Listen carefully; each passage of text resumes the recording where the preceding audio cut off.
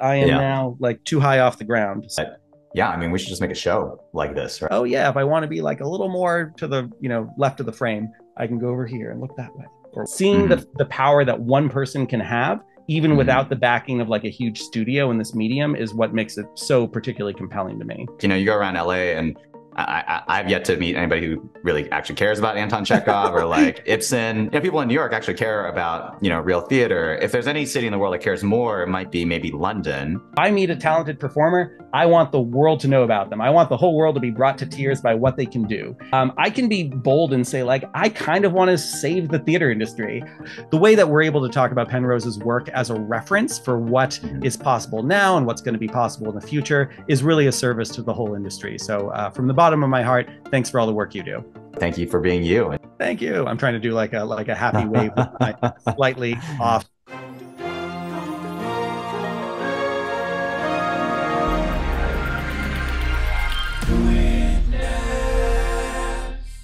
Thanks everybody for joining me today for today's podcast. I'm excited to be hosting Alex Coulombe, and uh, he is of iBrew and uh, Agile Lens and uh, several other things that are just really exciting. He's been a pioneer in the VR metaverse space, and I'm just so excited to be hosting him today and uh, chatting about some things related to virtual reality. Oh, thanks, Eugene. Uh, the pleasure is all mine. awesome, awesome. Maybe um, you know we've gotten to know each other a little bit, and it's been great to have a chat about both of our interests in um, you know our, our really deep interest in, in this still emerging and budding space, which we used to call VR, now we call the metaverse. I mean, who knows what the words we use, but just the idea of these immersive environments and these immersive worlds that we can be in. So, you know, I think one thing I'd love to to dive in a little bit is just learn a little bit more about how you got into, you know, virtual reality, like where your passions lie and kind of what do you see as as sort of the future of of the medium. So, yeah, would love to would love to hear about that. Absolutely. So I got started with uh, emerging tech as far back as high school. I was really eager to write my own plays as part of the drama school and was using just the projectors we had on hand to do kind of a proto Mandalorian LED volume sort of thing to be like, now we're cinematically cutting between all these different environments. And then when I went to architecture school over at Syracuse, I, I was also doing a lot in the theater department. And we had a little theater group where we were constantly trying to figure out how we could make the shows more interactive and how we could use uh, different tools that we're using in architecture in the theater environment. And then we had all these fun discussions about like how, you know, we could structure a script in a similar way to a building. So we were very cross disciplinary.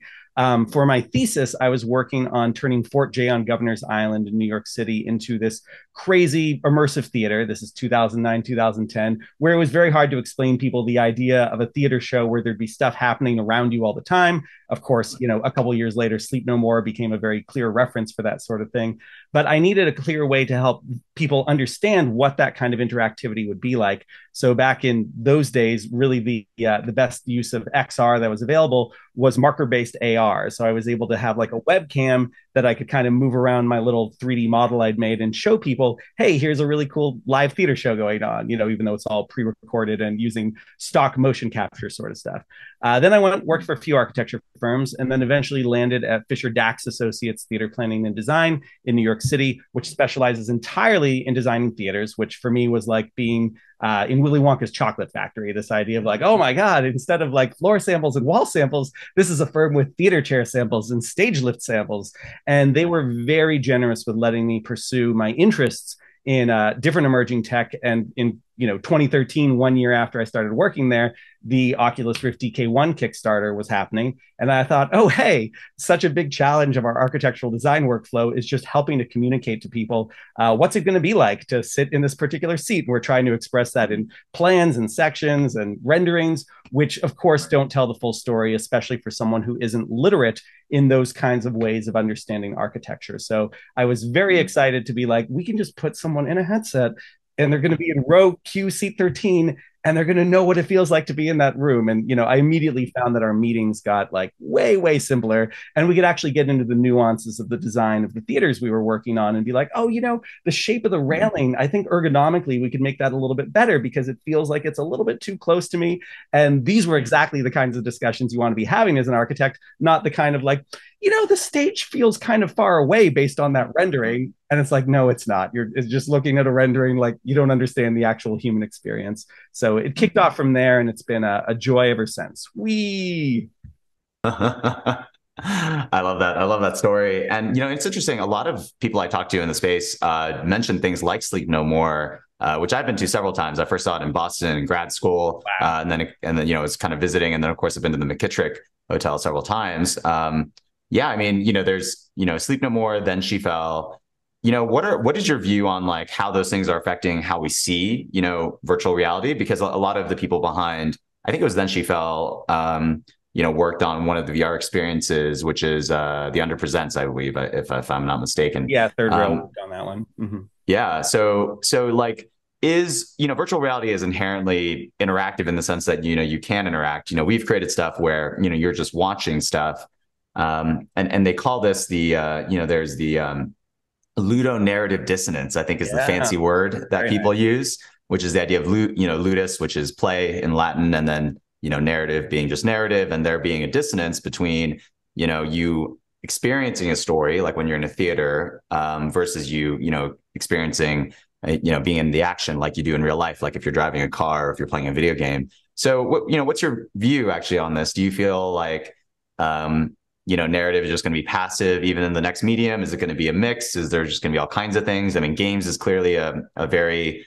uh, games are flourishing in virtual reality right but you know narrative is not so much at the moment, right? So I'm, I'm curious to get, you know, that's kind of a big roundabout way of just saying, you know, what do you think the future narrative looks like in, in this brand new medium based on some of the references you you mentioned and some of the things that you've been creating?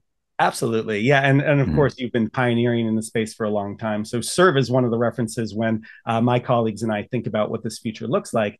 Um, mm-hmm. It's it's an evolving medium, and I think it's evolving more than say the game side. I think it's it's not that big of a leap for someone to be like, I had an Xbox controller that I'm holding like this, now i'm pulling it apart and i'm just like able to move my you know hands around but i'm still pressing the same buttons. Not as big of a leap as saying hey we're going to show you a narrative and it's not quite film and it's not quite theater and it's not quite a video game. It's something kind of new and it's drawing from all those mediums but there's something else going on. And so especially when you think about narrative that has certain elements of interactivity, it is interesting that some of the most useful reference is something like an immersive theater show like Then She Fell or Sleep No More, because I think that gives you a sense of the spatialization that needs to happen in order to make these narratives work. Um, sitting in a theater and watching a show, whether it's a, a theater show or a cinema piece, is useful in terms of understanding like a narrative is going to happen and I'm going to engage with it and enjoy it passively.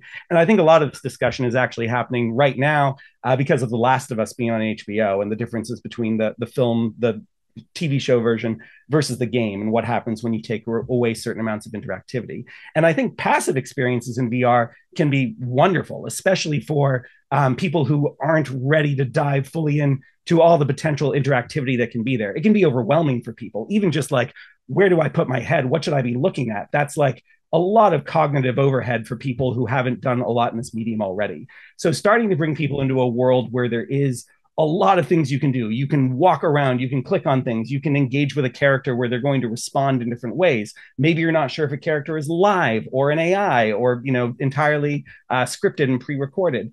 I think that is evolving slower than some people would have expected because it's a lot for people to take in. And we'll probably get into some of the shows I've been involved with, but like we're always trying to give like the most passive, easy to onboard kind of experience as possible for people where that's going to be their most comfortable version because even something like just getting someone into a new world and saying like here's what all the buttons do and here's what the trigger does like that can be so much and then to be like and now we're going to give you a very engaging story um, it's too much for them to take in. So yeah, I think being able to onboard people comfortably into this brave new world is important. And eventually, over time, we'll get to that point where, um, as we we were discussing last time we spoke, starting to develop something like a cinematic language that works well for this new medium. So we go from like I'm just going to put a camera down and watch it, which is like early film, to saying like now we're going to use montage and like rapid cuts, and we're going to you know convey a certain emotion by moving the camera in a certain way. We're going to start to see more of that language evolve in a way in VR, especially on the narrative side, where it's going to be comfortable for a lot of people because we've gotten enough of a critical mass of people uh, onboarded into the capabilities of what this medium can do. What you're saying reminds me a lot about kind of the experience we're doing. Um, I think we talk, talked about last time, you know, uh, we, we, draw from Neal Stephenson's Diamond Age, where he yeah. talks about reactors, right? Or actors that react into situations. So you know, when we try to demo those kinds of things, these, you know, multiplayer experiences that are narrative based, um, when we discovered, you know, when you when we do something like Arden's Wake or Allumette, it's like pretty easy. You just kind of put the headset on, and even then, it can be a little complicated because you know sometimes you get people that don't move at all. They just you know stare straight, and they don't realize they can move their head or have six degrees of freedom. But the thing about um, you know the particularly interactive experiences where you have controllers, you have to move around, you have to learn how to teleport or do smooth locomotion, how to jump and uh, those are just basic things that, you know, us VR, I guess natives now, um, you know, spend a lot of time in VR. It's easy for us, but, you know, for other people, I remember for the demos, we would block off, you know, a certain amount of time and almost that entire initial time we blocked off would just be to try to get them in the headset and get them to understand how these controls worked. You know, for people who are gamers and definitely people who are into VR, um, it was really easy, right? Like they would just come in and it was super simple. But people who aren't used to that kind of interactive, um, you know, medium is uh, they would just take forever. Um, and and and you know, we wouldn't even be able to get them in the experience because you know, so you know, um, you know, I wonder, like, in many ways, like, I think what virtual reality presents is the idea of being able to run these narratives, you know, with actors, you know, doing a live performance, but have, you know, the stage be the world, right? I mean, you know, today we're limited by, you know, internet speeds and uh, the amount of people that can be in an instance at once. But, you know, things like what you saw with, uh, you know, I think Fortnite, uh, you know, pioneered this several years ago by having the, you know, virtual concerts, but uh, that wasn't even live. That was pre sort of, you know, pre-rendered and pre pre-animated. But you could have these live performances, and in theory, the world could be your audience, right? Um, and I think the the world play, so to speak, is is sort of what we talk about. Um, that's a really intriguing concept, um, and it makes me the, the question that I have around that is uh, and I'd love to hear about the experiences you've created because you know we create a bunch of interactive stuff, and we we wonder now, you know, thousands of years of humans make telling stories, you know, via books and via theater. You know, at the end of the day, you know, the the the the way narrative is happen happening. Well, today it's happening on screens like little iPads and stuff, right? But back in the day, it would be in theaters, whether movie theaters where you sit and you watch back, or you're in a drama dramatic stage play and you're just sitting back and you're watching an actor. Um, maybe that's an easier first step. I don't know. Like, you know, we, we wonder, are we complicating our lives too much by trying to add interactivity just because it's there for the taking, right? So I don't know. I'd love to hear about your thoughts and maybe, you know, talk about some of your work and things like that. You never want to have technology just for technology's sake, of course. Um, you always want to feel, especially in the narrative context, like it's a value add, like it's providing additional um, you know, ways to engage and feel emotionally connected to to the story. So I'll give you one example with um, this production we've done for a couple of years of Christmas Carol, where we want people to be able to, if they want to, kind of like find a good spot, sit back and just watch the show, and that's fine. And they can, if they want to be six inches away from Scrooge the whole time, they can do that and enjoy it passively. But we also do want to say, if you are the kind of person that gets like hyperactive and wants to fly around the whole scene and do a bunch of things, all of that is there for you. And I think another, you know, way to think about that is also the way a lot of immersive theater is done, where if you go to Sleep No More, you can just follow one actor around, or you can stay in one room, or you can go and open up a bunch of drawers and read a bunch of letters. And all that is kind of there for you if you want it, but it's not necessary. And again, same thing in video games. If you go through a video game, a lot of times there's all these other like collectibles and things you can read that are going to give you more information about the world. But you you want to have like a very clean spine that is going to work well for everyone and then everything after that is is kind of bonus and for certain people is going to deepen their connection to the story um, we for example really wanted to actually just a perfect example of connecting to some of penrose's previous work when we started mm-hmm. having live actors inside of virtual reality we were trying to decide what scale made the most sense because we we really liked the idea of seeing them at like a tabletop theater scale. But then, especially once we started getting higher fidelity facial capture, and we thought, like, geez, we really like people to be able to see this um, at the proper scale. And then we realized there was a fun opportunity in Christmas Carol in particular because we had each of the ghosts at a very different scale. So, Ghost of uh, Christmas Past is tinier. Uh, present is about the same. Sorry, present is bigger than Scrooge, and then future is huge. And so we actually mm-hmm. allow you to, in a certain way, kind of engage with the scales of those different ghosts by switching the mm-hmm. scale of the whole world. And it was very mm-hmm. interesting to see when people would come to this live show um, what kind of scale they, they most enjoyed the show at. And it was actually kind of an even split. Once people understood that they could cycle between these different scales, it was pretty much right down the middle of some people wanting like the tabletop theater, some people wanting Scrooge to look like enormous and see all the little details and wrinkles, and some people just kind of wanting to be like, this is a human who is six inches in front of me and they are the same scale as I am. I, lo- I love that you talk about scale because, uh, as you know from from our work that you mentioned, thanks for thanks for mentioning that. It's uh, it's a big question for us, right? And the big question, I think, one of the things, um, I mean, you know, Arden's Wake deals with scale in two different ways, uh, which is, of course, the miniature, and then you have Airy, which is, you know, gigantic, right? I mean, relative in scale. Yeah. I think I think the spec sheet was like it's got to be bigger than the Golden Gate Bridge, right? You know, like in terms of length, in terms of we can only get so much in there, but it, it is actually much larger it's funny the model is actually much larger than you think it is in vr right? In oh, vr really? Yeah you think it's pretty big but actually when you look at the model like we actually just you know gigantified it. But at some point the how large it is becomes i guess not as meaningful right? Because it's just so big.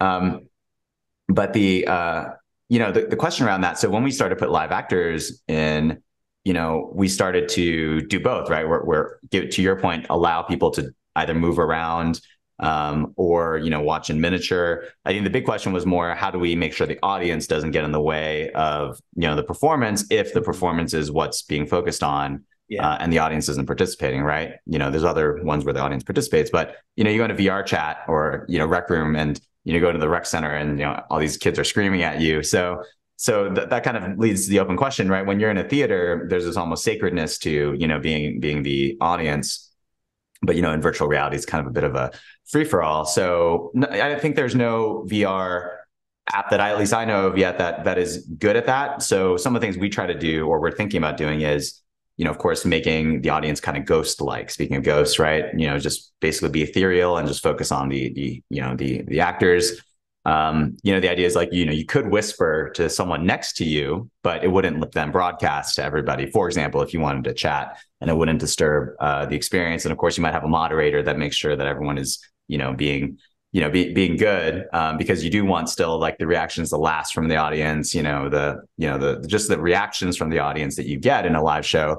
You want those to be retained, but you want the audience to, sort of be able to be respectful of the narrative process in a way that definitely I would say doesn't exist in social VR uh, right now, right? And so, you know, I, am curious about your thoughts on on that audience participation and how to you know maintain the sanctity, so to speak, of the narrative, right? Or if that's even necessary. So yeah, absolutely, mm-hmm. and it, it's a great question and an open one for sure. Um, we were mm-hmm. fortunate enough back in 2018 to uh, get a bit of a almost call it a grant from Philip Rosedale to do all these studies in high fidelity, which was his kind of VR successor to Second Life. Um, now has pivoted into other things, but studying all these kinds of things like, you know, avatars, performer audience interaction, what kind of spaces make the most sense? Do you want to be in a traditional theater? Do you want something that feels more like an actual living world? And um, it was really inconclusive with a lot of that stuff that we have this whole coterie of talented New York City uh, folks who are who are looking at this with us. And in some cases, it's it's very much just a personal preference thing. In some cases, people love the direct engagement of an actor looking right at them, making eye contact, and bringing them up on stage and doing a thing. And for some people, like my wife, that's like their worst fear, even in a virtual context. They like want no part of that whatsoever. They're here to watch a show and be passive and enjoy it that way. They want to be a ghost. So it's been interesting too to watch uh, a bit of the evolution of this. And, and I can point to some great examples besides my own company's work. So, of course, Tender Claws, you already mentioned the Under Presents. Um, what Ferryman Collective has done with shows like Welcome to Respite. Uh, there was a show called Tinker. There's Meta Movie Alien Rescue. These are all starting to adapt uh, a very interesting, let's almost call it a, a foundation now for what that audience dynamic might be. Because what they tend to do is say, 90% of the audience is going to be ghosts. They're going to be passive. They just get to fly around and have a, a Sleep No More esque immersive theater experience where they do not get really any kind of meaningful direct um, one-on-one interactions. But then you tend to have like one maybe a couple like hero audience members and they're the ones who are signing up to be much more engaged with the show. They know that they are going to be asked to like perform certain tasks in virtual reality and that they might even mm-hmm. affect the narrative in some kind of way. So i think that's been very interesting to watch and, and certainly adds to the mm-hmm. replay value of some of these experiences. I've seen welcome to respite uh, i think seven mm-hmm. times now and every single time that show is different depending on who is playing alex in that piece. I've heard of some of those but i actually haven't tried almost all of them. So, you know, I've done Adventure Labs, uh, you know, the uh, the the sort of the pets, um, yeah, Dr. Uh, one, which is really cool. Dr. Crumb, yeah, Dr. Crumb School for is it disobedient pets? Um, yeah, and but uh, really cool. Yeah. Quick shout out for that. The the lead host of, of Dr. Crumb is is Ari Tarr, who is also uh, Scrooge in our production of Christmas Carol. Oh, that's so funny. I love I love that there's this kind of crossover. Do you think you know uh, we have some experience with with you know virtual actors, maybe reactors uh, is the right word. I'm not sure what the right I don't know what the right word is, but um, do you think that how do you think it compares to regular you know acting? So so for example. Um, you know, some theater, uh, uh you know, there's a difference between uh, and back in the old movie days, it would be like, you know, once sound came in, the talkies, you know, a lot of the people who were good at acting before sound became not as good, you know, with sound, right? I mean, that was mm-hmm. literally just the movie theater, but it was just you added sound. A lot of theater actors are not necessarily the best movie actors, and some of the best movie actors are not the best theater actors, and you know, all that. There are some actors who are just so great that they just transcend mediums, right? right. So media, so to speak, and you know, I mean, I remember I saw Hugh Jackman perform in New York once, and he was great. So oh I mean, God. just yeah, yeah, I know, I was super lucky. Um, I've seen Patrick Stewart. Uh, I think he was in Othello actually, which was kind of like a, a, reverse Othello. I think I saw that in Brooklyn. Awesome mm. show as well. And of course, I have to say, you know, you know, one of the coolest experiences I, have had directing is directing Alicia Vikander, you know, who won an Academy Award for The Danish Girl. Yeah. You know, did uh, Arden's Wake for us, and she just did an incredible job as well. You know, it's just amazing to to, to see that kind of performance. Uh, and of course, our, our other actor, Tide Richard Armitage, who has a huge fan base online. Um, you know, just did uh, you know th- both of those actors just did so great. Um, you know, I just I can imagine them being great at you know everything. But you know if you if you're just talking about like at an abstract sense you know what makes a good you know actor in virtual reality let's say a live actor versus a theater versus a you know just just at the very very abstract. So if you don't talk about like the upper echelons do we think that those are like very different skills? Um, I'll, I'll, give an example and you will, we'll probably see it when we get into the the quest pro here uh, soon enough. But um, what are we um, going to do? yeah exactly. So um, but but the thing about the the thing about that is uh, in the early days, right? You know, like especially with iPhone ARKit capture, you have to like really, you know, your face has to emote in a way that is very different, right? It's almost more like theater acting, right? Because in theater acting, you have to be loud and you have to emote really big, and then you know, in a camera, you have to be. It's much more subtle. Like every movement is captured, right? So um, anyway, I'm, I'm kind of just going on and on, but I, would love to hear your thoughts about what kind of actors do well in the virtual environment relative to, let's say, other ones, right? Let's say if they, you know, have full mocap and all that. Absolutely. So this was actually mm. something we had more uh, conclusive results of um, back in our 2018 studies because we tried every kind of performer. We had people who had done film work and theater work and video game work. And the common thread we found for those who were most successful working in, in VR, especially exploring it with us, was anyone who had a proper background in improv. So anyone who could yes and something happening and start to take it somewhere new, who didn't necessarily feel bound by a script, and also someone who could respond to technical difficulties. You know, if someone is doing a Shakespeare scene and they're a very serious dramatic act- actor and they're trying to do their soliloquy, and then their arm tracking stops working, that might throw them off and they're going to start to like maybe fumble over their lines a little bit because they weren't ready for that. Someone with an improv background turns that into something new. They evolve it into like, you know, suddenly now I'm Richard III and there's actually something like wrong with me. And, and now that actually starts to become part of what they're doing. And so we actually did a lot of live improv shows and improv workshops over in High Fidelity that was very much about training people that like VR is an emerging medium. If you want to do it in a passive way where you're pre recording everything, it's hard enough. If you want to do it live, things are going to break. And so, like, we tried to give people all these tools for, like, here's what you can do when things break, as they inevitably will. And, uh, and those kinds of performers are the ones that we've stuck with over the years because they are ready for anything and they have the patience and the fortitude and the creativity uh, for exploring this, this very exciting, but also very unpredictable frontier. Mm.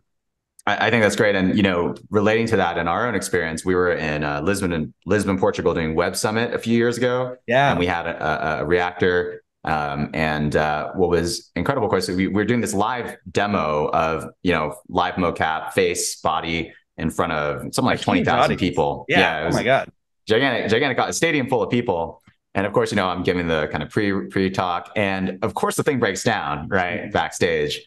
So the body tracking stops working. We had this like Xsens suit, and you know, we tested it for days, and it was you know it was going through Unreal. Mm-hmm. And this is like Unreal, like you know, years ago, right? So you know, way before Unreal four, five, um, and uh, yeah, so so you know, none of these things work work very well. Body stops working, so you know, she comes up and she's supposed to have you know her whole body and dance around, but she just has her face uh, being tracked by the iPhone. So like that, that's how the demo started. And people started asking her questions like, "Can you move around?" And uh, she just made some joke that you know she was like, "I didn't expect so many guests, right? i'd have them cleaned up," and she just made that up on the fly uh, to like you know to because people were trying to challenge her in the audience, and she just got a laugh from the whole from the whole audience, and it just worked out great. And to your point, because this is so early, you know, I think I think some of that improv skill and the ability to be spontaneous is is really important. Um, it makes me think a lot about the kinds of narratives, right? Like you know, comedy. Um, I think comedy kind of works because everything kind of doesn't work so well in VR. Comedy is almost better. I mean, we like to do drama. We like to do a lot of drama. Yeah, we funny yeah. things in our in our shows, but we tend to We're trying to make all little... the headsets very wet with uh, these very emotional stories. What are you doing? Well, thank you. I appreciate that. Thanks. Yeah, no, it's it's uh, you know our our our mission is to empower the pursuit of meaning, and you can do that through any medium of narrative, comedy, drama, etc. But we sort of stu- you know done a lot of a lot of dramas. Um, but you know, going to VR chat is really kind of instructive about some of this stuff, right? So, um, you know, my wife is a musician, so she went into VR chat and started you know doing these variety shows. Uh, she just like went up to some open mic and got you know she's she's really good at singing, so she got invited to another one. The next one was like a level up. It was like people who had you know put their guitars in and they were you know, streaming the guitar into VR and all that.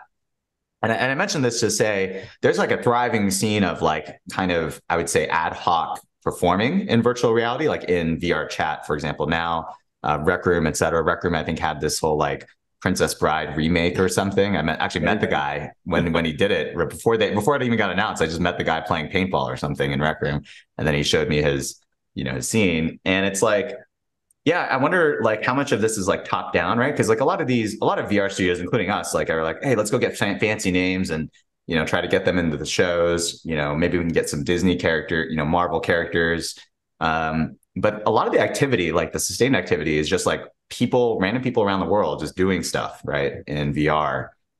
So, I mean, I don't. The question is kind of nebulous there. It's just more like, how is this going to evolve? And your, I'm curious in your view, how does this evolve, right? how much of this is like top down where you got big studios, et cetera, and how much of this is going to be bottom up? You know, studios like ours, even just random people on the internet, you know, doing things, right? Like, you know, people on Discord organizing to do these like open mic parties. Um, yeah. yeah, I'm curious. What's your what's your view? Like, how's I this think gonna, this is absolutely going to be a grassroots movement, and it already is. Like, some of the yeah. most talented people are the ones who are doing this as a hobby. They're not even working for a company. They're just incredibly passionate about what this can do. Um, let's take the underpresents for example. Like Samantha yeah. Gorman and everyone at Tender Claws had a really exciting idea for what that space could be. But what mm. really brought the space to life was the actors, uh, who many many of whom were doing this kind of in their free time without even necessarily um, getting properly compensated for it in some cases. But then the audience members who would come in and then add all these other layers of mythology and meaning to the world and every artifact that they found in it was mm. really incredible. And that came very much out of a, a passion. It wasn't just like we're trying to collect a paycheck. And the way that that evolved and grew over time um, was was so remarkable. And then in places like VR chat, where uh, have you seen um, um, We Met in Virtual Reality? It's on HBO. I have, yeah. That's yeah, right. Yeah. yeah. Wonderful film mm-hmm. there by by Joe Hunting. And you just mm-hmm. start to see the way that people are finding uh, meaning and new ways to express themselves through these other mediums. And some of it is performative and, and out of a desire to like put on a show. And then some yeah. of it is just very much like I feel more comfortable being myself in this virtual world than I do necessarily in the real world and those kinds of people are are really being driven to create some incredible work and so watching that evolve over time has been um, such a treat, such a delight. I'm really looking forward to seeing where this all goes in the future. And I hope mm-hmm. this is just to keep using the film analogy. It's it's like that sort of thing where you know Hollywood reached a point where um, what was it like the 70s or something where it wasn't really working the way it was supposed to, and then you get like Spielberg and Lucas and Scorsese and like all these uh, relatively young, inexperienced like film directors that are exploring the medium in some new ways and then propel it all off in these other directions. And I have to give a shout out specifically to um, Deirdre Lyons, who uh, I first saw in the Underpresents, then became a co-founder of the Ferryman Collective, who started off doing such incredible things in the Underpresents as giving my five-year-old at the time like a one-on-one mission, like, oh my goodness, never-ending story style. The under is in danger. You need to save it. And this was all because he had enjoyed her production of The Tempest so much that he missed her, and he was sad that I told him that uh, the t- the show was going to shut down. So she tailor made this like forty minute long one on one experience with him inside the Under, and then she went into the Ferryman Collective, and it started to win all these awards with Welcome to Respite and Gumball Dreams, and they're going to all these festivals. And they're not a huge company; like they're doing stuff in VR chat, using the tools that are available, really pushing narrative in exciting new ways, and and I love that. Um, one more quick story too uh, first time I, I, really got to hang out with Charlie Fink in person, your previous guest, was a live VR event workshop that we were giving at South by Southwest in 2019. And there was this very interesting person in the audience who just asked a lot of great questions about what we were doing and how they could do it and what we thought about the different tools. And her name was Dasha Kittredge. And she left that workshop, uh, as she told me later, incredibly expi- inspired by what this medium could do. Went out to LA, got a job working with Tender Claws and the Under Presents, and now has also gone off to do uh, a ton of incredible cutting edge like immersive theater work that's playing in VR and web browsers and all sorts of custom platforms. So seeing mm-hmm. the, the power that one person can have even mm-hmm. without the backing of like a huge studio in this medium is what makes it so particularly compelling to me I, I absolutely love that, and, and uh, that, I, I, love the the references, and, you know, I'm, I'm, like geeking out myself over some of the references you're, you're saying because you know, there's so a lot of those are near and dear to my heart, uh, also. And, and speaking about you know, kind of how grassroots things are, you know, in a totally different medium, talking about gaming. I remember like in Echo Arena, which I I used to play. Uh, it's a real a real shame that that's going to be R. shutting down later this year. But yeah. I remember one of the, you know, one of the sort of the pioneers of, you know, of, of, that game. I think she was on one of the the major teams. You know, kind of reached out to us, and it was just like, yeah, wow. You know, I'm talking to random. First off, this esport didn't exist a few years ago, and now, you know, we're we're, we're talking to. Uh, you know, people who have just made their name and you know, esports in this uh, you know, this brand new category and medium. So I thought it was really, really cool to think about all the grassroots things that are happening. Um, uh, geography. I mean, one of the I mean, there's so many things to, to chat about, unpack based on what you said, but you know, geography. I'm curious, how is you know being near New York City or you know your your company's in New York City? How has that sort of changed, uh, or how do you think that's affected the way that you work, especially when it comes to acting? Right, a lot of people say, you know, the, the two big film film cities in America, right? I think LA is by far the gargantuan, you know, king, you know, queen, whatever you want to call it, just the the the one, the the big uh, the big one. And then, you know, New York is much smaller. It's more like indie film focused, et cetera. So, you know, what, um, you know, I'm curious what you think about, you know, New York versus LA for the kinds of things that, that you're doing. And in many ways, actually, some of the performers for some of these things are actually just completely remote, right? They might be in Idaho somewhere, right? Um, now, the magic of a show often comes. I've, I've, been part of theater shows, right? And the magic is like when everyone's together and you got the audience, and it's like you know the show must go on. Uh, so you know, there's elements of that. Um, and then if you're fully remote, you're you're you're not quite there, even if you're virtually present. So I'm curious, like, you know, is is do you think that are you more excited about you know like New York, LA, or just like Boise, Idaho, right? Like, just doesn't matter where we are. And virtual reality is just the uh, competitor to real estate, and so you know you could be wherever you are uh, and and be working with actors around the world, and it's just as effective. So you know those are different views and maybe you have a different one in, entirely from that i'd love to hear your thoughts about you know where where talent should be where where to like get talent from in this sort of brave new world yeah, uh, the Boise, Idaho uh, example there is certainly the one I'm most excited about. These really mm talented individuals and companies that don't have the the funds or resources to really become uh, a huge company and buy office space in New York City, but now mm-hmm. they have a way to show how incredible they are. And uh, mm-hmm. I'll try to stop referencing Christmas Carol everywhere here, but they were an incredible company to work with. This is Actors Theater out of mm-hmm. Louisville, mm-hmm. Kentucky. And they're wow. this prestigious theater group that does incredible work that 99% of people are never going to see because it's in the middle of Kentucky. And so for us to be able to take their vision for what they saw Christmas Carol could be, and to say, hey, now anyone in the world can experience this uh, in a fairly interactive way. That is such a treat. And so I love being in New York City and the, the talent pool we have for, for actors and venues and, and being able to actually have people in the same room is great.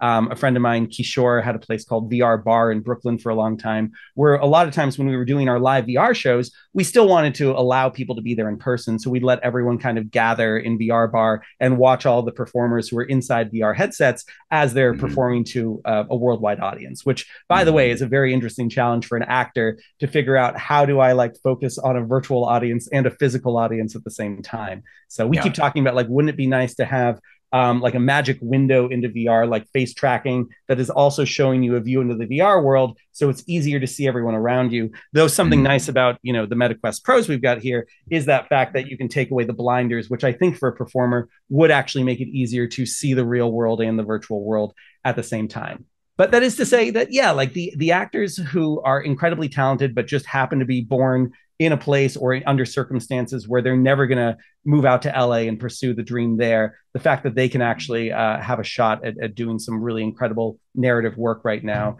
and for the whole world to see it, uh, not just as a film, but like in a really interactive, live, compelling way, is is so wonderful to me. That's that's really good to hear. Yeah, well, well, you know, we'll see how you know the next few years and, and see how virtual reality, uh, as as as they say, uh, I think it was actually Meta at the time, Facebook, who initially said this, right? Virtual reality is a competitor not to teleconferencing, but it's a competitor to real estate. Yes. And that was an interesting, um, you know, thing to say. Um, what about LA versus New York? Out of curiosity, uh, I'm sure you're biased, given that you're. I mean, I'm a New, yeah. I'm a longtime New Yorker as well, so I do love my New York. Still have my two one two cell phone number, as I as I think I shared. But uh, yeah, I'd love to hear your thoughts about LA versus New York as as it relates to this industry.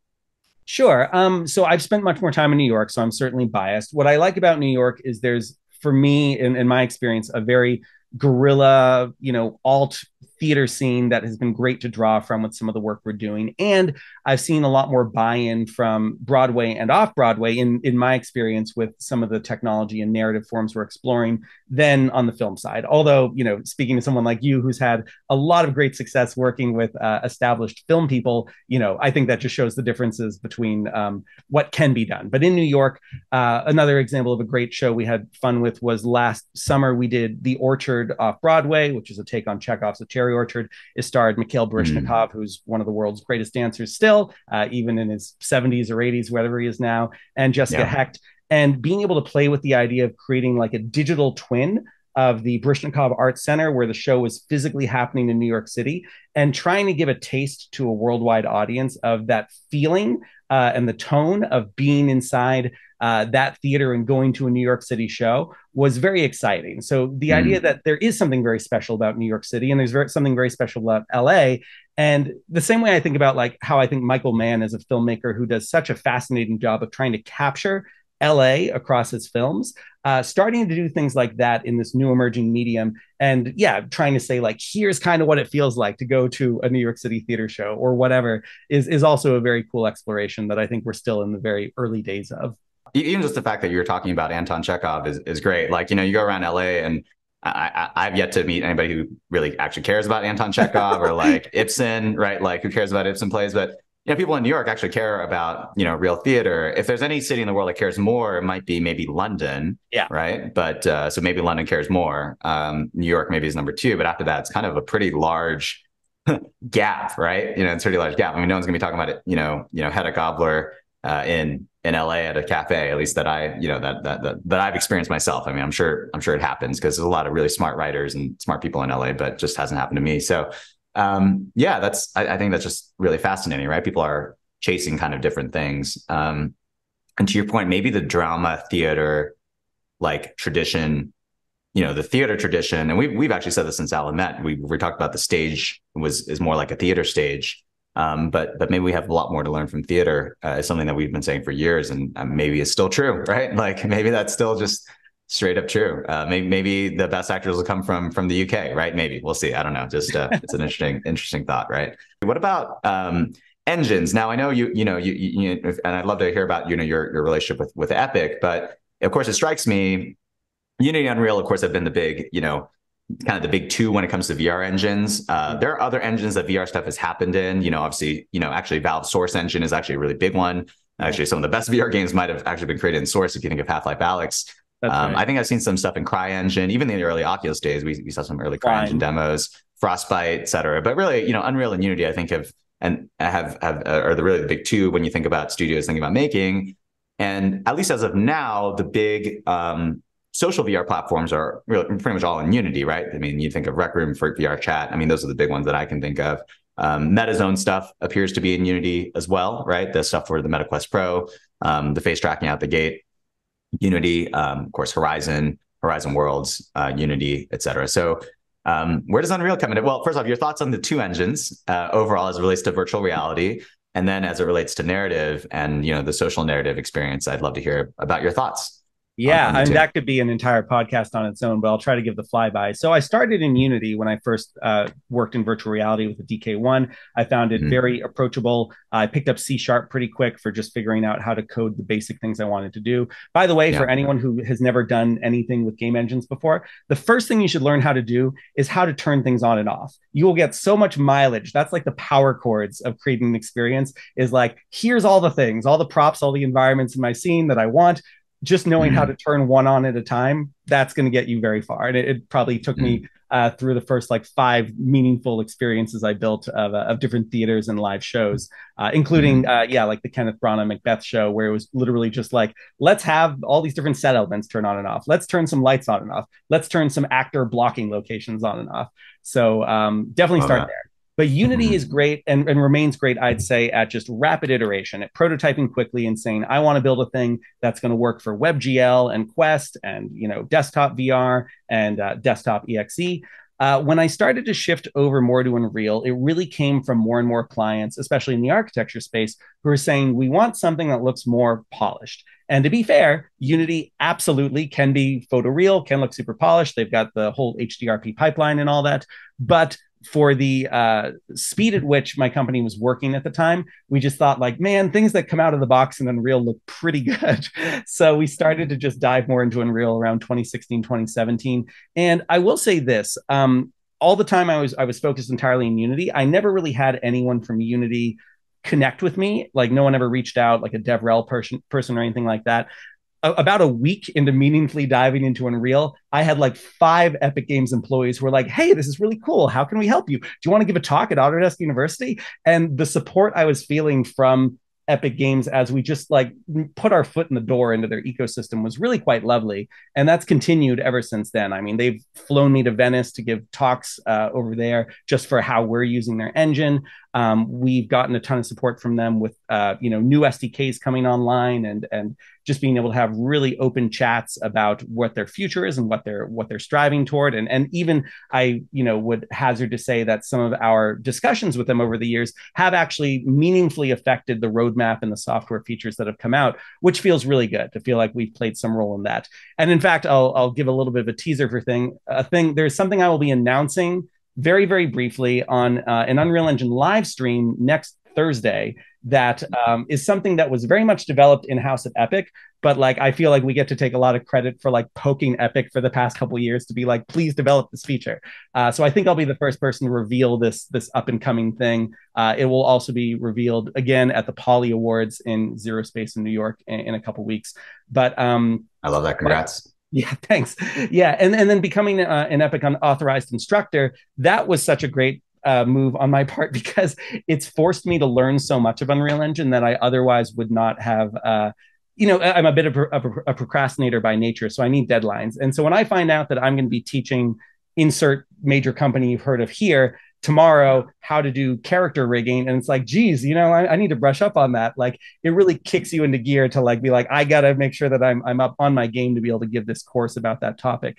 Uh, so that's been really wonderful that partnership as an instructor and uh, everything coming online with Unreal Engine 5 with Lumen and Nanite and MetaHumans and and the possibilities of um, what can happen now with like RTX 4090s and cloud computers and pixel streaming. It's an embarrassment of riches with with the tools we have at our disposal now. And um, you know, we still have a few projects in Unity, but I am very happy with what's happening in Unreal Engine. And I feel like I'm at that point now where anytime we hit a roadblock, nothing is insurmountable. There's a way around. There's someone I can ping in the Epic Slack channel. Like I, I luckily get to actually be in the native Epic Slack channel, so I can be like, "Hey, you're the developer who made this feature. Tell me why it's not behaving the way it's supposed to." And I do that sparingly, but it's a very nice, uh, you know, code red kind of uh, uh, thing to go to if I need to. That's awesome. That's super cool. And it's probably more, um, uh, probably even more useful than like UDN, right? I mean, yeah. you know, just uh, just overall, right, in terms of responsiveness and things like that. Um, that's fantastic. So, I mean, and what's interesting is Epic as a company, right? I think from their own admission is is being a little less, uh, you know, interested in VR. I mean, the MetaHuman yeah. and the face tracking is very important to them, right? But um, I think you know they, they've even said this in, in various ways, and also by actions, because uh, I think, for example, Steam VR is going to be deprecated in a future engine, for example. I mean, they're really shifting to OpenXR. Yeah, so you know they're just making some moves. So um, you know, obviously we we love VR. Uh, a lot of our stuff has been in Unreal. We've had a few things in Unity for sure, but most of our work, I'd say, is Unreal based. Um, what uh, yeah what, what's your thought about that right you, you know you have this company that i think still cares about vr but isn't as you know as keen on it as as for example unity right but you know um yeah any thoughts about that or any thoughts about you know things related to that yeah I, all, all i can say without like breaking any kind of nda stuff is the the team at epic games that is focused on vr is super passionate super dedicated um, I think a lot of us would love for it to be a larger team, but the folks who are there are spending every day like really making it work. Um, but yeah, like some people pointed out, like, hey, Alex, you were the only VR talk out of the 200 talks at Unreal Fest. Isn't that kind of weird? And it's like, yeah, sure. Like, I'd love to see more mm-hmm. happening in that ecosystem um, on this front. But all the tools are there. And then you know, there's even things like um, VR mode. Like I remember years ago, um, uh, Timoni West from Unity and Unity Labs gave this really cool little demo of Unity with like kind of a VR editor with like a dollhouse mode where it's like, hey, we're inside Unity and we can like move stuff around in VR. And I thought that was so exciting and that kind of always stayed as a bit of a like a fork of unity it never properly got integrated into the main engine and meanwhile kind of without even advertising it back in like 2017 or so epic was like oh we can do that and they added right. in a vr editor into unreal engine which i have used mm. all the time and now they mm. have like a virtual scouting mode that's great for like being like i'm on location now and i'm setting up cameras and dolly tracks and lighting and gaffer stuff and uh, that is continuing to evolve in some really exciting ways as well. And, and, just the fact that you literally have the entire engine at your disposal in VR, you can be placing objects and changing materials and cycling through different, you know, design options. Um, all the tools are there, and and I think the raw material for what is possible with VR in Epic is amazing, and the community around it is amazing. Um, you know, there's things like the VR expansion plugin, which you know, out of the box, it's free, does does a ton of stuff that um, a lot of people might not even know is possible to do in VR. And then the, again, the team that is there is really doing some exciting things, pushing VR forward. I would tell everyone to keep an eye on what happens with 5.1, 5.2, 5.3, because uh, mm-hmm. it's certainly not something that's been abandoned by uh, Epic. They they do want to push that industry forward as much as they can, but yeah. also I'd say it's riding a little bit of the coattails of virtual production and everything with Fortnite yeah. because those are the industries that are driving Unreal Engine right now. But even yeah. the trickle down of what we get over into VR from those is is still pretty exciting. it's pretty it's pretty incredible, yeah, which we'll we'll see soon enough soon enough here. But uh, you know, stepping all the way back, just like um, I'm curious if you think about what is your maybe I call it prime directive, you know, in life, right? Like, why do you do what you do? Like, you know, you do obviously some amazing, incredible things. Um, you know, what what what gets you out of bed every day, and what what gets you excited? Like, what if you had a really deep, you know, drive deep down? I'm curious, what what is it that motivates you? Yeah, so I can uh, date my my drive, my raison d'être, uh, back, back to 2008 when I was studying abroad in London. Shout out again to London, where mm-hmm. I was lucky enough to have a professor there who always got us into the first few rows of every show we went to, opera, uh, theater shows, um, concerts, whatever the case was. And I had never been uh, in the first couple rows of like world class performers before. I'd been in my theater group in college watching amateurs up close, and I had seen world class performers in film or from the nosebleed seats of theater. But it was really cathartic and transformative of me to be like, five feet away from Ralph Fiennes performing Oedipus at the Olivier stage, for example, um, among many, many other talented performers, some of whom you've never, you would never even have heard of, but they are, uh, by all accounts, world class performers. And so in 2008, I really found myself wondering was there anything that technology could do to democratize this incredibly rarefied experience of being that close to a world class performer? Because so few people are ever going to get to travel to London pay the cost of being in that seat, seeing that particular show. And theater, by its nature, is so ethereal. You know, it, it's live and then it's done, and all the sets get destroyed. And unless there's some really good archival uh, version of the show, like Hamilton, for example, it's kind of just gone. And so I, I, wanted to find some way to make the live experience more accessible. But then also, I started to think a lot about this idea of like narrative light going through a prism and refracting into all these different colors and seeing if there was a way to preserve the excitement and the ethereality of live shows, but also get something that can be on demand and more exciting as well. So that was in 2008. And through the entire time that um, my career has been progressing and, and founding Agile Lens and thinking about what we want to do, it's really been with this drive toward um, allowing shows to exist in, in many more forms and to service both the audience and the performer side of this. Like, if I meet a mm-hmm. talented performer, I want the world to know about them. I want the whole world to be brought to mm-hmm. tears by what they can do. And so, finding any way that I can help them and build the right tools for them is incredibly satisfying. And anytime I get to see an audience member come out of a show and say, mm-hmm. you know, wow, that was unlike anything I've ever seen before, that's really what gets me out of bed in the morning because it feels like there's endless potential for what we could do with that. And again, just bringing up like, cloud computing, VR, being able to have something that's interactive uh, in a browser with pixel streaming, uh, a cinematic YouTube live stream, having all those things exist both in live formats and then on demand formats is is really quite wonderful. And, and by the way, uh, it's also lovely when there's pieces that are primarily festival pieces that finally become on demand. Like I, I remember seeing with Arden's Wake, there were like so many people who were like, when is this coming to the Steam store? and like it's finally there. So like you made a lot of people happy by just making that more on demand. I, I appreciate that. Thank you. Thanks very much.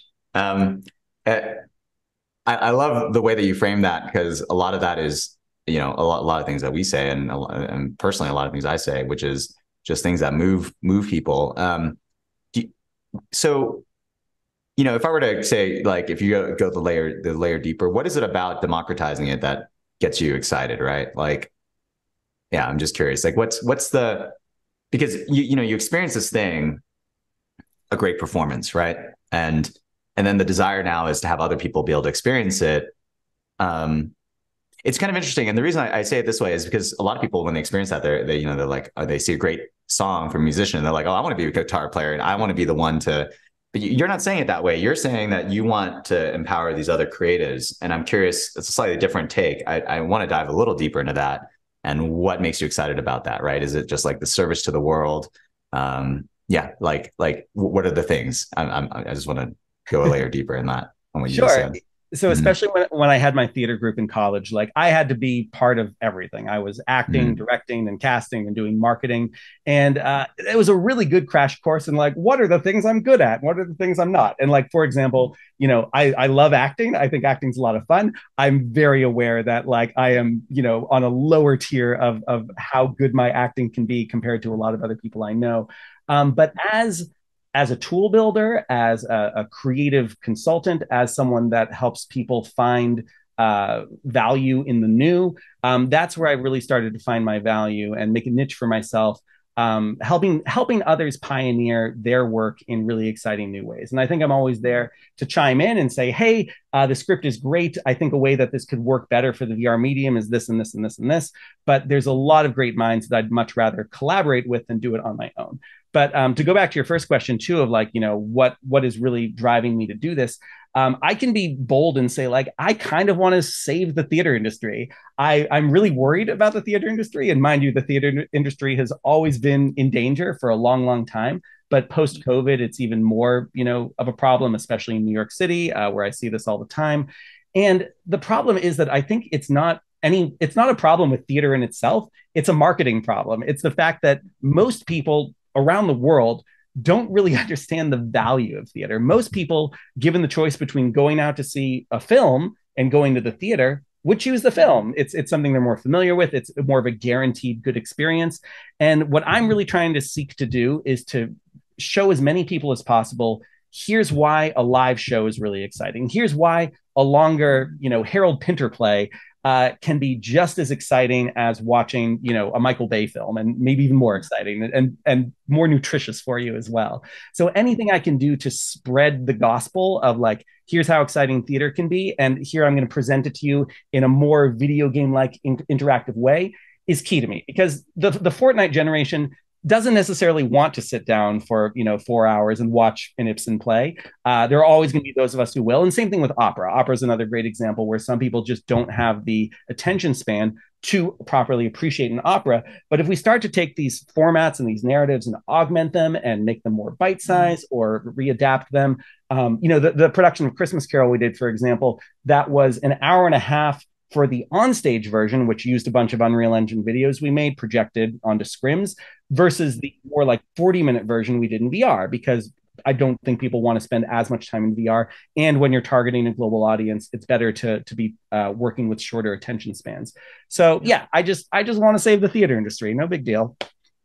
No, no big deal. That's I, I, I love that there's a there's a there's a crusade of sorts in a in a great way. So and and you know there have been many attempts at this, right? So um, I think the Metropolitan Opera did the whole like, you know, trying to take videos of stuff, um, of shows, of operas, and of course, there's many like recordings of you know shows, and and they just, I mean, they're not very good, right? What that that's the interesting thing about it is it just doesn't translate to to cinema. I mean, of course, cinema has its own language, and you got close ups and cuts and all that. Um, so, so, so, so thoughts on that? I mean, you know, we're kind of looping back to our original thing of like, do drama actors make better VR people? I mean, the drama actors almost need it more in a way, but yes. outside of that, yeah, like, like, you know, technology has tried to save, you know, theater, right? Uh, by by take doing video recordings. Uh, do we think this is just going to be one of those, or is there something materially different in, in the efforts we're doing here with like face tracking and body tracking and stuff like that? So yeah, yeah. I, I, think the mm-hmm. VR side is very important because theater is inherently spatial uh, beyond the way the cinema is. Like, there's all sorts of tricks you can use in cinema as you move the camera around. Um, and in fact, one of the the more mind blowing uh, shows I saw in London was called Some Trace of Her, based on The Idiot by Dostoevsky, starring a very young and cute Ben Whishaw.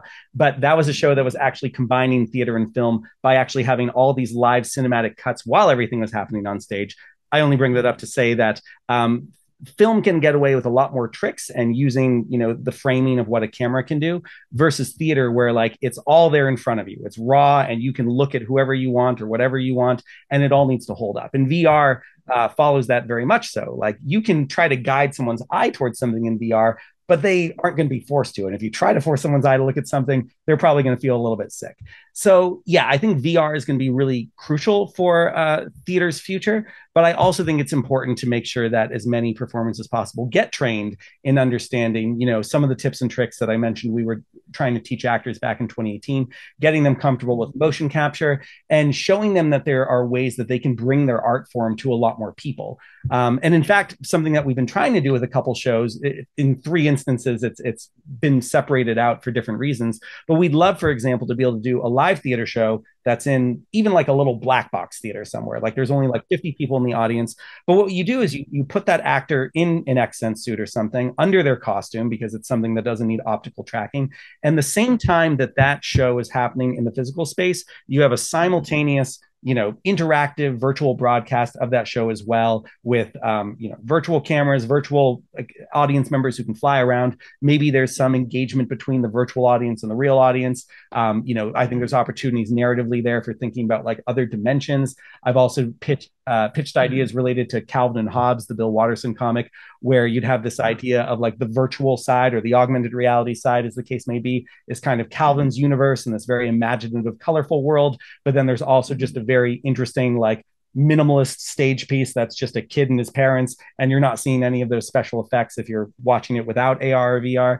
So there's a lot of potential I think for that stuff to expand and I think mm-hmm. theater needs to adapt or die, you know, in order to to make all this work. There will always be a demand for traditional theater and I'm not trying to ever say that should go away. I'm just trying to say that it should yes and into all these other um, exciting emerging mediums as well because so many of the tools in stagecraft that these artists have worked so hard to foster translate so well into this new medium. And it feels a shame for them to you know be an incredible uh, painter if you were if you were picasso but you only ever were showing your paintings to your neighbors and never letting them get outside of your town that would feel like kind of a shame. And we want you know talent to be seen by the whole world. And for people who thought that theater could never move them to feel like their entire worldview has been shaken by by a really powerful piece. I definitely feel that right? I mean like you know we've made stuff that, that uh, i'm glad you know I, I, can't say it's had, it's had an impact but it's great to hear that you know some people say it's had an impact um, in terms of like the actual impact that the show makes. And it's it's about i mean you can have i mean those were real actors right? Acting in there. It's just yeah. they you know they weren't they weren't doing it live but you know if you can do that live then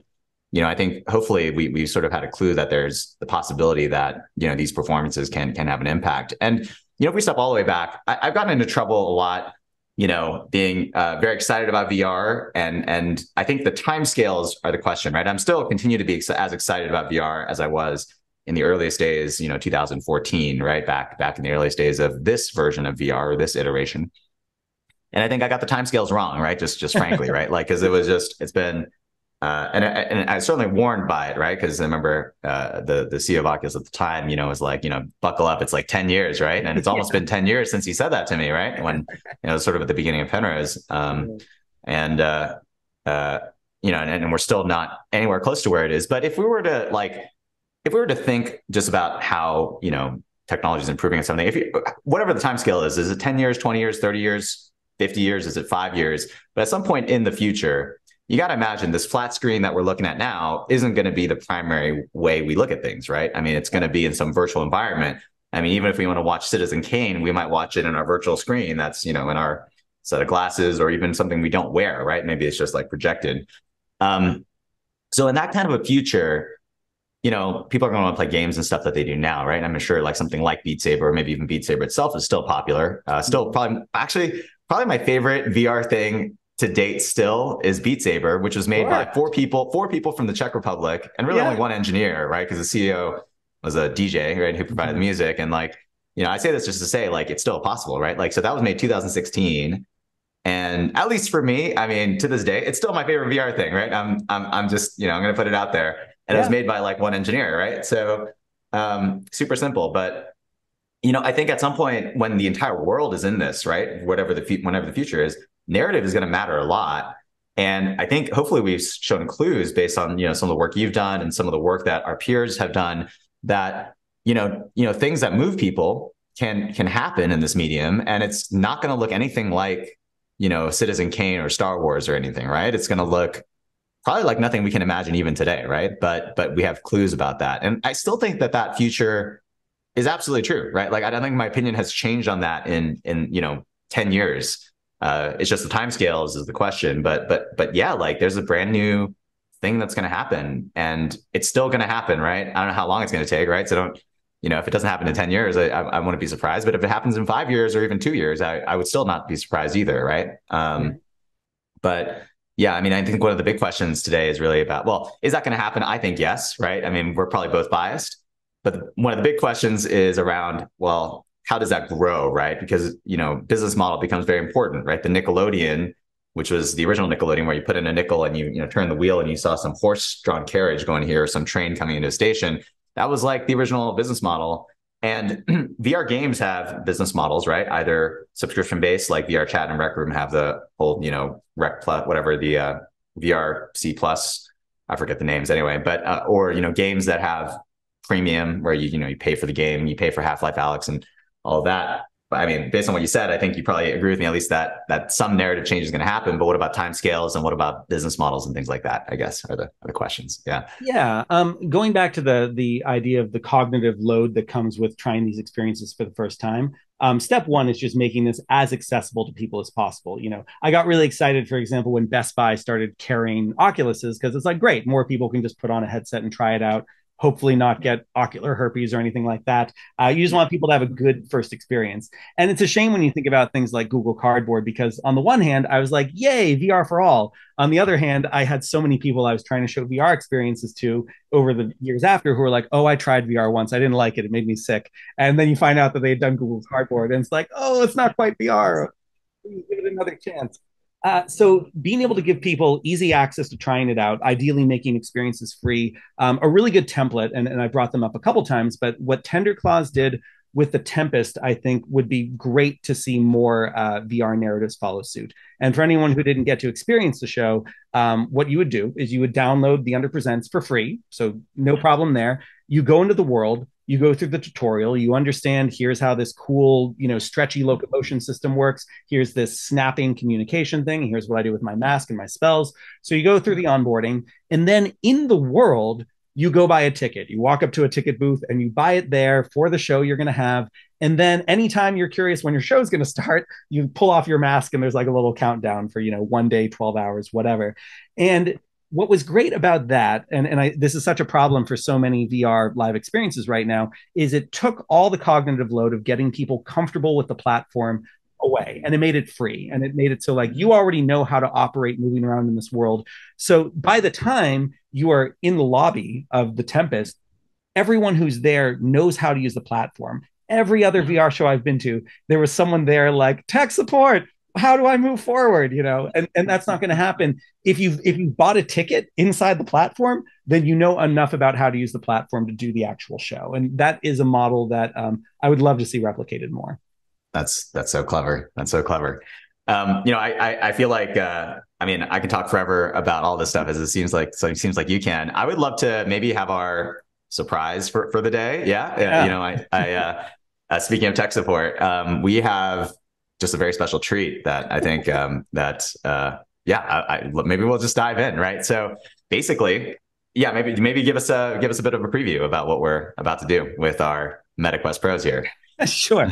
so, um, something that Eugene and I have both been eager to study has been um, how can you let an actor uh, be in VR and potentially see a virtual audience while still giving a compelling performance. Because typically, if you're trying to get a good facial capture performance from a performer, you're using like LiveLink Face on an iPhone or a GoPro camera or some other system with like a bunch of tracking dots.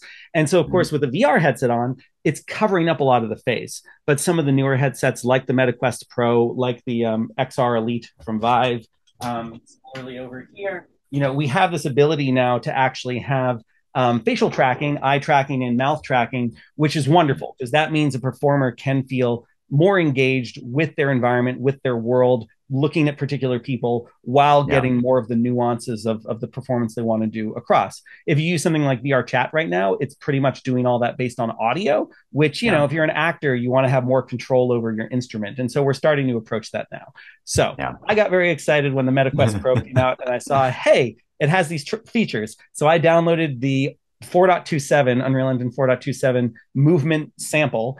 So excited to try doing this with a metahuman and found okay, uh, no metahuman support, and uh, the avatar that's in there isn't really something that anyone would want to use. So. I then uh, very brute forced like taking every expression I could find and trying to say like when L brow upper left is being called by Oculus, translate that to a metahuman with yeah. brow left, upper, down, or whatever the different naming is. And mm. uh, mm-hmm. then when Eugene and I here started to talk about how this would be kind of a fun thing to demo, I thought, oh, great. Well, I should upgrade this to 5.1. And everything broke as I got it to 5.1. so, you know, and that's just part of the course. But uh, mm. yeah, what we're about to show is going to be um, a couple uh, metahumans, um, one that that you I know will be using for a future production, one that I've just been using as a test one, and we're just mm-hmm. going to see what kind of conversation we can have um, with our metahumans here. I'm excited. In similar lighting in. environments to what we're in right now. For anyone who's like, why has Alex been in this weird blue moonlight the entire time? I love that. I love that. I'm excited to dive in. Uh, this is going to be, um, I tr- you know, well, this is going to be a, a, a, interesting kind of experiment in a lot of ways. So I did have, uh, you know, all all transparency. I did have some issues with particularly performance. Right, I think is yeah. actually probably the biggest one. You know, I had to update update my NVIDIA drivers and all that, and I feel like I know VR decently well, but you know, it's uh trying to get uh trying to get it performant. Um, you know, was was a, was a thing, but we're going to do that right now. So, yeah. all right. And, I, and I'm here as tech support. So we, if we run into any uh, lag or crashes, like I'm happy to to guide through um, some of the the adjustments we can make to help with that. I'm excited. So like for, for example, technical yeah. thing number one, I just yeah. noticed putting on my headset after a while that I am yeah. now like too high off the ground. So we'll see if that ah. actually causes an issue. And by default, you're seeing um, a VR view with a black screen. And of course, the big problem with seeing someone in VR is that shakiness, right? Like that's no good. So, step one, even if we weren't um, going to be performing as a couple characters here, um, is to make sure that we've got a smoother view. So, I'm going to press the tab key, and the tab key is going to give a view of my character right now. And I think if I just kind of scoot myself a little bit more forward and I kind of cheat where my arms are, I can kind of make this work even with my floor being offset. And so what we've done is Eugene has um, picked a couple cameras in here, and I can press the space bar to cycle between these two cameras. And uh, we just kind of see, you know, what kind of tracking I'm able to get in here as I move my my hands and my uh, face around. So we got head rotation. And, uh, you know, we can see like there's certain things that are working pretty well. Let me go to the front again here. So like I can go ah e like a e i o u. Now one of the things we're missing here, I'd say, is more with the eyes. So even though we got like blinking and a little bit of musculature as I like move my eyebrows up and down, um, what we're missing that I think makes these characters still feel a little bit dead is that like if I try to smile, like mm-hmm. we're not seeing really many uh, musculature changes in the eyes and that makes mm-hmm. that's one of those like uncanny valley things that i think people sometimes are very aware of like the eyes look kind of dead and if you can mm-hmm. make the muscles move more in the eyes then that helps with that a lot mm-hmm. one of the things is about performance so the frame rates uh, it's interesting because we have different computers yeah. Uh, i have a 30 i'm currently running on a 3080 ti laptop mm-hmm. and uh, yeah um, i'm getting yeah 15 frames a second but i guess gotcha. there's some how many frames a second are you getting out of curiosity? I am FPS? getting a, a, solid 90. nice, nice. That's the 4090 for you. That is, I, you know, I got the 4090 and I couldn't fit it in my tower because of the, you know, I mean, the thing is just a beast, right? A lot of so, people ran into that. Yeah. yeah. And I've got like this Falcon Talon too, right? Which is a pretty large tower as things go. But yeah, I had to like, I, I just, you know, just sitting there. So it's like I have to get a new tower or something if I wanted to get that to work. Um, yeah. But a, a, way to improve the frame rate here is I can press some buttons, right? So right. Uh, so start by mm-hmm. pressing like the three key on the keyboard. So what that should do yeah. is bring mm-hmm. down the resolution of what you see in VR quite a bit, but it shouldn't okay. affect what you're re- recording um, on your screen right now. You are recording, right? I, am I'm recording on OBS. I, what right. I should do probably is I should probably join on this computer and then screen share, right? That might be. I don't know how that. Yeah. Um, that's probably what I should do, but because then you can't see. Let's just try to do that. Sure. At the risk of, oh, of course, I don't have Zoom on this computer. I don't have anything on this computer because it's just literally just dev. It's just complete pure dev. Well, first off, it's not a computer I use because I use my tower. Uh, my tower has a 2080 in it, which I try to upgrade to the 4090.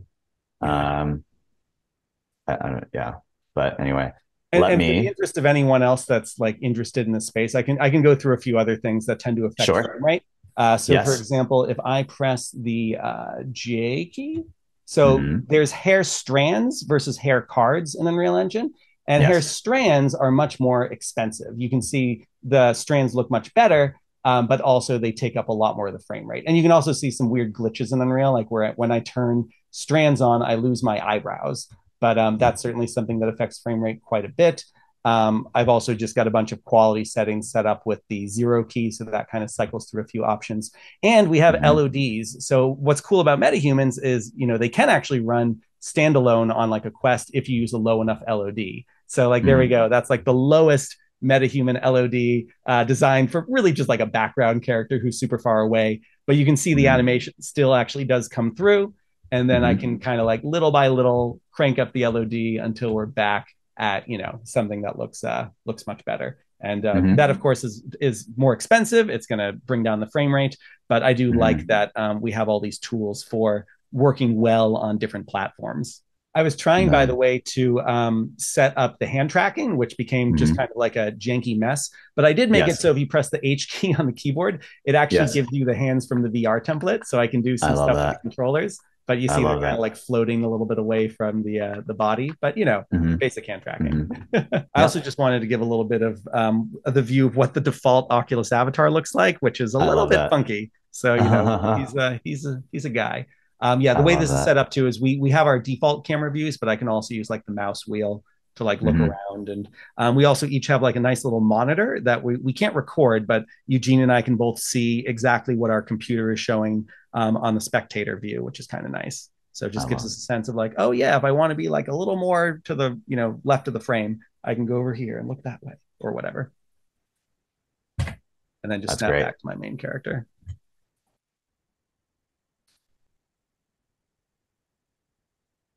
Mm-hmm.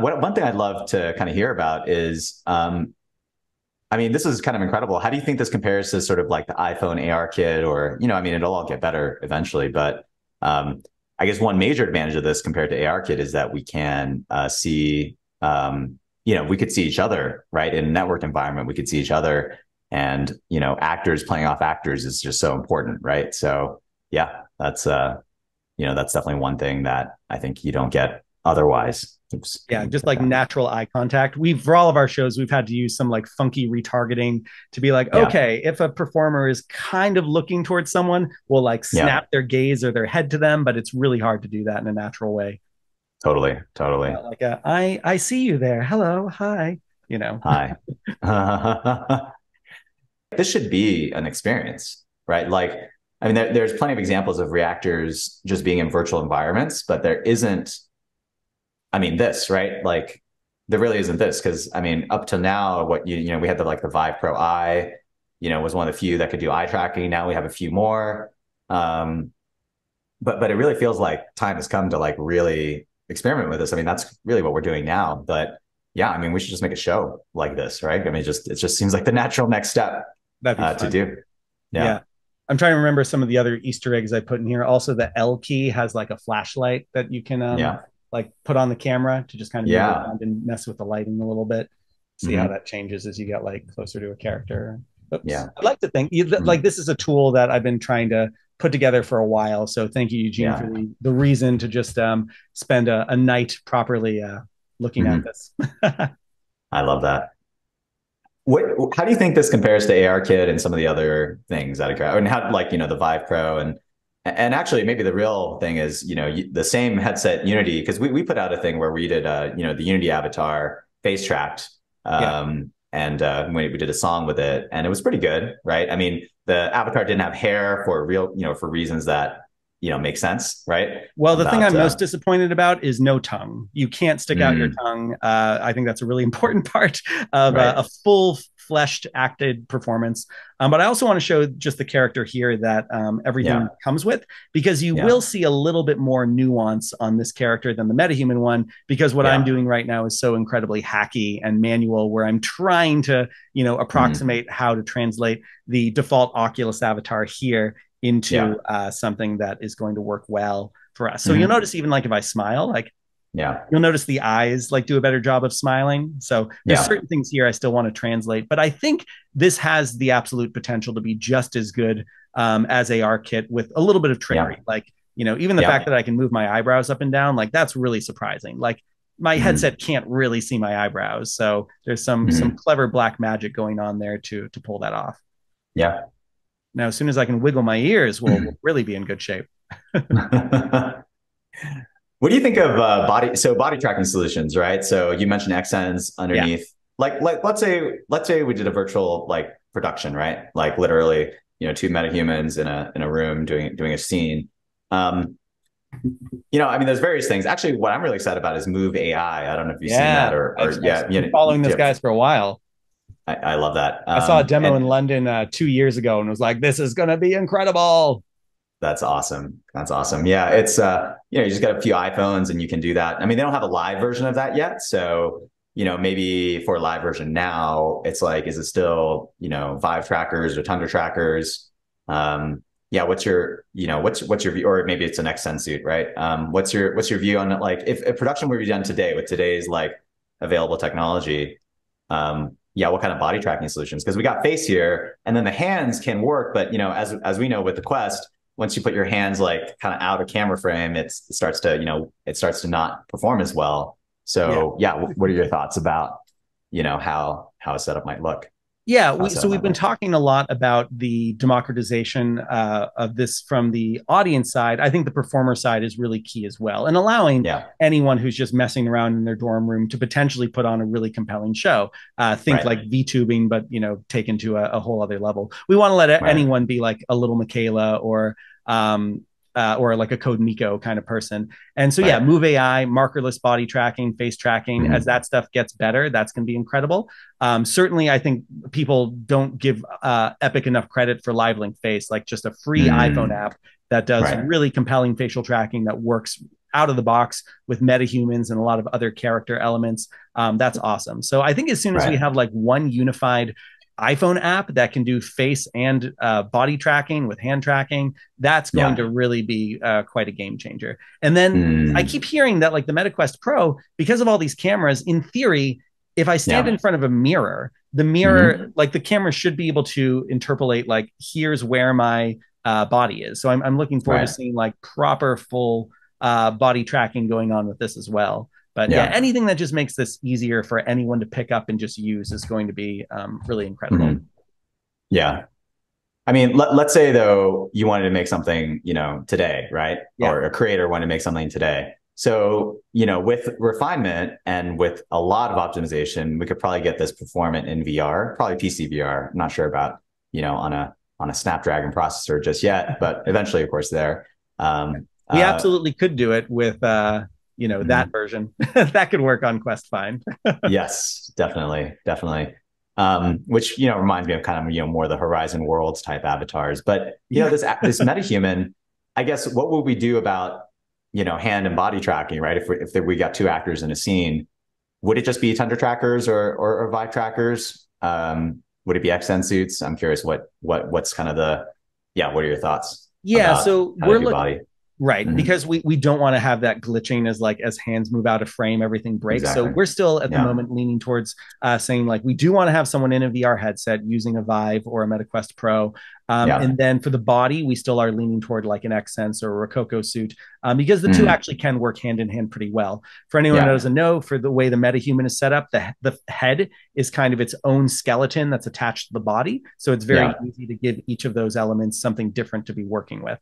Yeah, I think that's great. I think it's great. Yeah. And um, it, it, seems like though, I keep mentioning it, but it sounds like you're less enthused about the Vive trackers. I mean, they're just not, I mean, one thing is with this headset, you can put it, for example, in VRChat, but you'd have to do the whole, um, I mean, there's like the VRChat meme where, you know, the person is like doing this, right. To, to yeah. do the Steam VR. Whoever knows this in VR, it's basically you're trying to get a Quest headset connected to your PC, but then you know still linked to your Vive trackers, right? Mm-hmm. right. Um, but it sounds like you're less enthused about that. Is it just because the tracking quality is not nearly as good as Xsens, or yeah, what's you, you the, still mm-hmm. run so like optical tracking is great, but then you you have mm-hmm. all the problems with occlusion, right? So it's yeah. in my experience, it's been easier to correct for like drift and some of the things that happen mm. with inertial tracking suits mm. than dealing with like yeah we're like i've got a set of tundra mm. trackers back there and they're great yeah. but inevitably we find some angle where a lighthouse isn't seen one properly mm. and uh, right. it's much harder to have unreal engine like deal with with what happens in that situation mm. that makes sense that makes sense but if and anyone wants to give us like a proper, you know, OptiTrack or Vicon studio, uh, that would be pretty cool too. yeah, we, we actually had an OptiTrack. Oh um, wow! We bought it from from from Epic, but then uh, it's funny because a few months later they they wanted to buy it back from us, and we hadn't used it. It was just in the. It was actually right during. I want to say it was right before COVID, but uh, but yeah, yeah, it's just it's it's a lot. yeah. It's it's definitely a lot, and you know, you think about today I mean, you know, I, I, the reason I talk about this is like, you know, you have the inertial trackers like Xsens and other things that are, you know, making waves, but but I almost think like the real disruption is going to be like a move AI kind of thing where if that thing gets really good and it's live, then you know you just put a bunch of iPhones up and you're you're good to go, right? And and certainly the democratization aspect of that is great, but also the quality out of something like these AI tools is is pretty phenomenal. Actually, yeah. um, I've been pretty impressed by you know how how good they are to be to be frank. So yeah, yeah, and, and as thoughts. the latency gets better and, and all yeah. that can happen uh, live in real time, uh, that's going to yeah. be incredible. And you think about it too, like we already accept that when you're doing a live broadcast on YouTube or you know Vimeo that like 12 seconds is like an acceptable acceptable amount of latency to still call it live. So yeah. I'd also like to think that as we continue to evolve what these technologies can do, especially on the AI and machine learning front, that we mm-hmm. will at least get to that point where you know even if it's not like sub millisecond latency, we could mm-hmm. do uh, something that is going to work within that live streaming context and still have some level of uh, interactivity. Mm-hmm. mm-hmm. Yeah, definitely uh, definitely agreed. Definitely agreed. Um, yeah, I mean, the, the, the thing about the the op- so I definitely agree with you on the on the on these things. Um, the thing that excites me about the optical trackers is like VR nerds. You know, as as difficult as it is to set up base stations and, and get 11 point tracking or whatever it is performers get, yeah. at least they have it, right? So right. and they're used to it. Whereas most VR people aren't getting, you know, Xsens suits. So, you know, but but I totally agree with you that, you know, tracking can be can be a, a tough, you know, tough, a tough problem. Yeah. Um, but yeah, if you can get that to work, I mean, it's you get this performing at frame rates, at, you know, at a proper frame rate to most people with PC VR. I mean, this is just incredible, right? I mean, I think MetaHumans definitely brings a different level right? I mean, you know, you think of the, like the Rec Room characters, and I, I by the way, I love the Rec Room characters. I think they're yeah, just so cool. Wonderful. I, I still think they're some of the best social VR characters, right? Um, VRChat's cool because you can kind of put anything in there. Um, but you know, you look at Horizon Worlds. Um, you know, you, you look at Horizon Worlds, it's interesting. Uh, but you know, I'm not going to want to put actors in that. I mean, no. despite how simple that is, right? Because you know, it's kind of out of the box. Yeah. But MetaHumans brings it's just, just sort of a different level. I mean, this is amazing. And what's amazing right now, my view, you probably I can see the Unreal base movement character, right? And right behind it is the metahuman. And even in low fidelity, it's just incredible, you know. Yeah.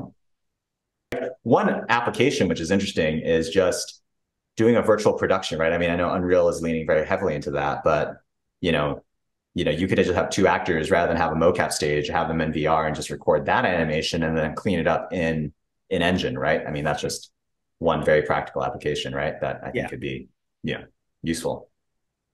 Yeah, absolutely. I, I, think all that, you know, all these tools um, benefit all the different mediums we've been discussing today. Uh, mm-hmm. Everything, what we're doing right now could be useful for someone making a video game, a film, mm-hmm. uh, a theater piece, or some totally new bonkers performance art thing that doesn't even have a name yet. Yeah, I love that.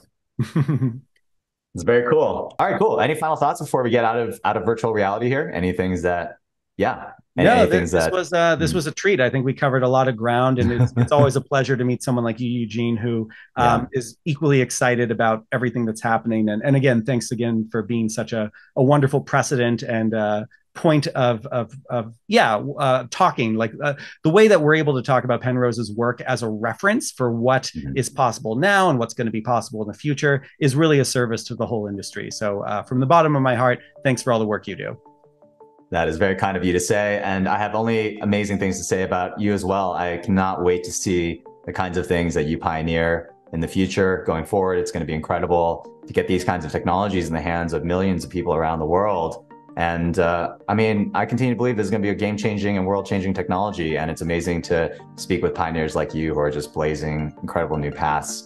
So thank you for being you and doing what you what you do best. I really appreciate the conversation uh, as well as the time. Thank you. I'm trying to do like a like a happy wave with my slightly off armature. exactly. There it is right there. Awesome. Thanks for, you know, helping show us some some incredible new things. Absolutely. Absolutely. Amazing. Yeah. Talk more soon, Eugene. Bye bye